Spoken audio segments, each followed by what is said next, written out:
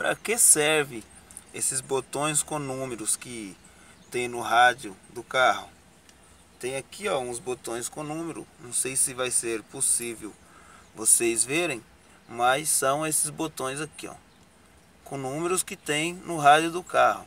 Bom, cada botão desse aqui serve para você programar uma determinada rádio que seja favorita sua. Por exemplo, aqui é a Jovem Pan, né?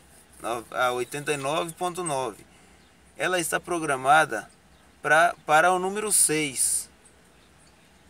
Então, cada botão desse você pode programar uma determinada rádio. Por exemplo, eu vou colocar aqui numa rádio que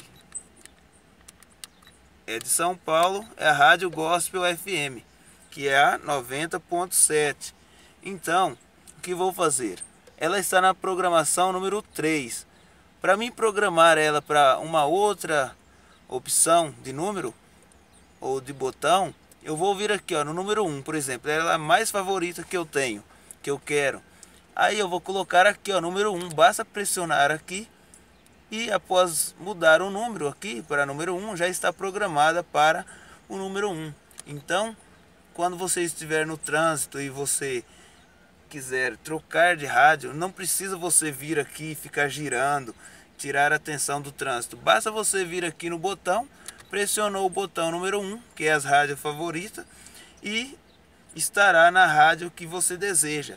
Então você pode programar o número 1, número 2, número 3. Aí você tem seis opções de rádio que seja as favoritas sua, de sua preferência, beleza? Então esse foi o vídeo de hoje que ensina para que serve os botões com números que tem no rádio do carro, beleza?